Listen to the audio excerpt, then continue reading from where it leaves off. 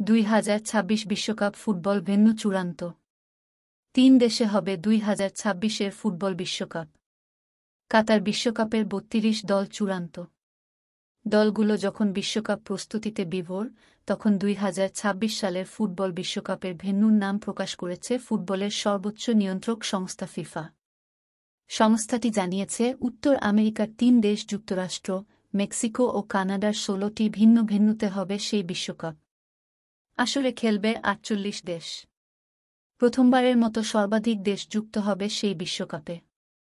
এছাড়া প্রথমবারের মতো তিন দেশ মিলিয়ে হবে একটি বিশ্বকাপ। সবশেষ দুই হাজার দুই সালে দুই দেশ, দক্ষিণ কোরিয়া ও জাপান, মিলে বিশ্বকাপের আয়োজন হয়।